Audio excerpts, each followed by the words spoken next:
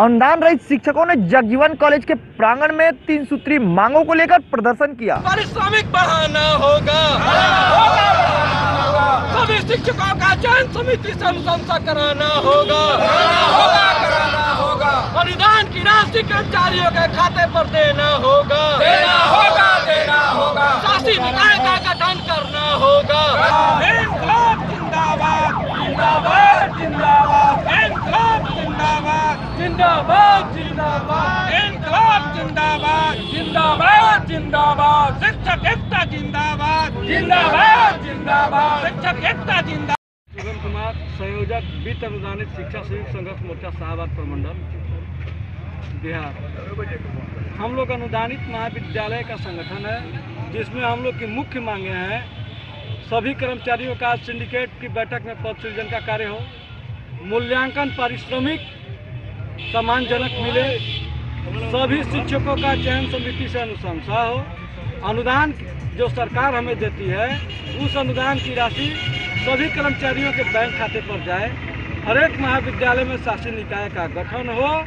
इसके लिए मैं माननीय कुलपति महोदय को शाहबाद संघर्ष मोर्चा के संयोजक के नाते दिनांक 19 पाँच 2017 से लगातार आवेदन, ज्ञापन, अनुनय, विनय, अनुग्रह के माध्यम से इन सभी समस्याओं का निराकरण हेतु आग्रह कर रहे हैं।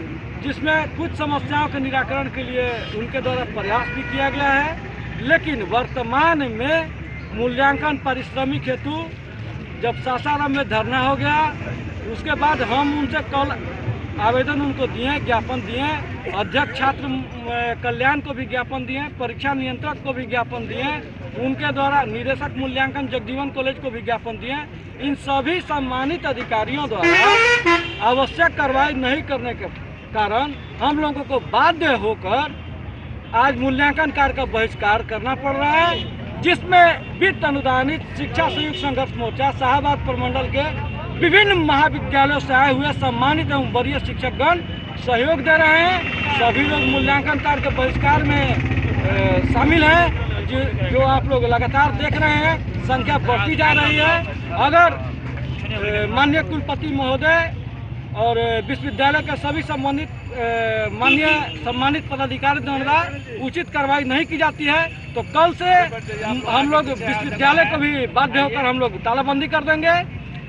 सभी को सूचनार्थ और आपको भी सूचनार्थ बता देते हैं कि विश्वविद्यालय मात्र सत्रह अंगीभूत महाविद्यालयों से संचालित नहीं होता है। उसमें अनुदानित महाविद्यालय जिसकी संख्या तिरपन है उनसे तिगुनी संख्या है। हम लोग अपने छात्रों को शिक्षित करते हैं उनको डिग्रियाँ देते हैं नाना प्रकार की उनकी सुविधाएँ देते हैं। हम लोग उसके एवज में विश्वविद्यालय को अमुक राशि भी प्रदान करते हैं प्रति छात्र के अनुसार और उसमें हम ही लोग को मूल्यांकन पारिश्रमिक नहीं मिल रहा है। अभी जो पिछला बी ए पार्ट टू का मूल्यांकन एसबी कॉलेज मूल्यांकन केंद्र पर हुआ था मूल्यांकन हुआ था उस पर अभी पाँच महीना होने का है। उसका रिमोरेशन बिल यानी कि हम लोग का उत्तर पुस्तिका का पारिश्रमिक का भुगतान आज तक नहीं हुआ है। बताइए कि सरकार हम लोग को अनुदान ही शिक्षकों का सहारा है, और आज अभी सात बरस होने को है, सात बरस में सात बरस होने को है, अनुदान बकाया है, और आज से 25 साल पहले हम लोग को बारह रुपया तय किया गया था उत्तर पुस्तिका का मूल्यांकन की राशि, जो आज भी है।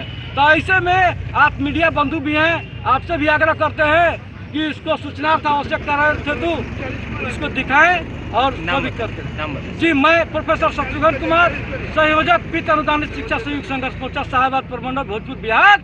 आवाज़ दो हम एक हैं। के टक्कर में।